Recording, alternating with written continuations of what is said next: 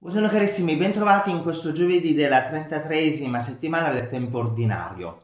La prima lettura ci porta nel primo libro dei Maccabei, siamo al capitolo 2, dal versetto 15 al versetto 29, e abbiamo la figura di Mattatia.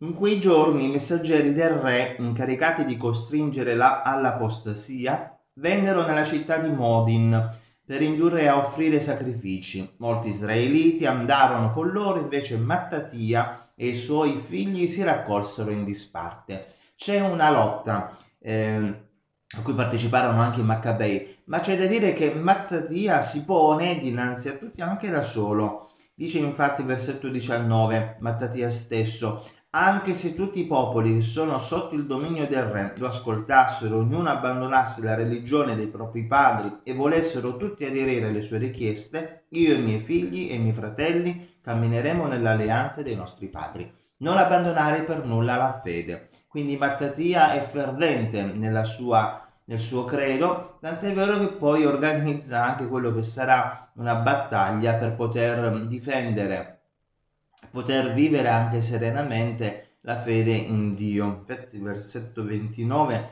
ascoltiamo, allora molti che ricercavano la giustizia e il diritto scesero nel deserto per stabilirvisi.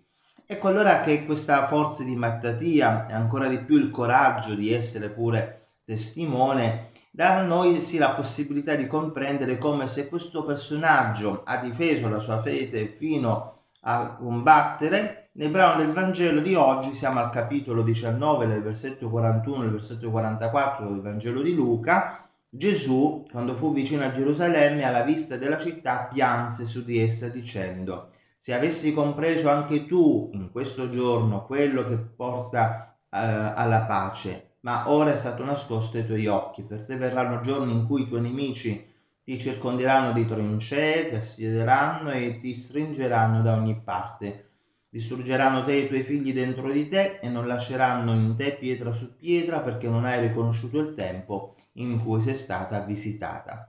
Dall'altra parte c'è proprio l'infedeltà, lo scialacquare in pratica della propria vita senza avere un punto fermo, senza un combattimento anche interiore che porta anche alla salvezza, anche a difendere alcuni valori. Pensiamo un po', noi lottiamo per chi o per che cosa?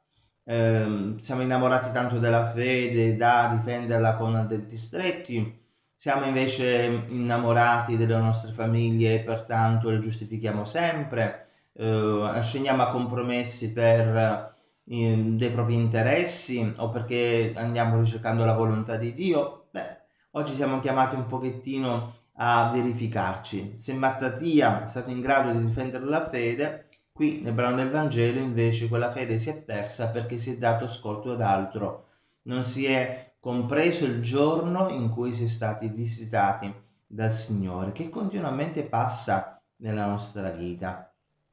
Che il Signore ci aiuti ad avere una verifica sincera della nostra esistenza. Un abbraccio fraterno a ciascuno di voi, buona e santa giornata, ci vediamo domani per il nostro appuntamento.